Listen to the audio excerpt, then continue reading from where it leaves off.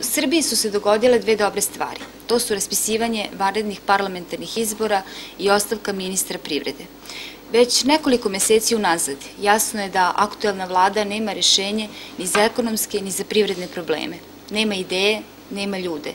Nema unutrašnju saglasnost oko ključnih pitanja koja se tiču funkcije građana. A to i Srbiju i građane Srbije košta mnogo više nego što koštaju izbori. Srbija se nalazi na prekretnici. Da li će ponovo zapasti u krizu i da li će nastaviti rast od prošle godine? Baš zbog toga što je na prekretnici, Srbija nema vremena za čekanje. Mi smo i ranije nekoliko puta ukazivali da su vanredni izbori neminovnost u ovoj zemlji.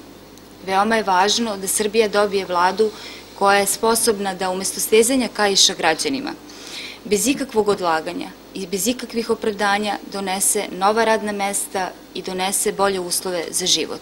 I zato izbori su najbolje rešenje za Srbiju. Osnovni principi predizborne platforme Ujedinih regiona Srbije biće državotvorna regionalizacija i decentralizacija kao uslov e, jednaki šansi za razvoj cele Srbije. Umesto mera neselektivne štednje, zahtevat ćemo veće ulaganja u privredu i poljoprivredu, kao jedini put ka otvaranju novih radnih mesta i boljem životu za sve građane Srbije.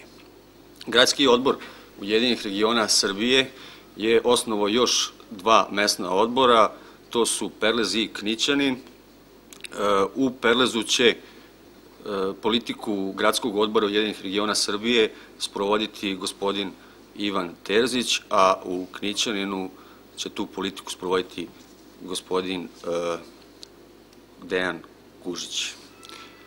To govori podatak o novim članovima koji su nam ovaj, pristigli iz Perlaza i Knićanina i u narednu kampanju ulazimo pojačani jer građani ovih naseljenih mesta su prepoznali e, vrednosti koje i politiku koju sprovode Ujedinje regione Srbije, kako u Zrenjaninu, tako i u cijeloj Srbiji.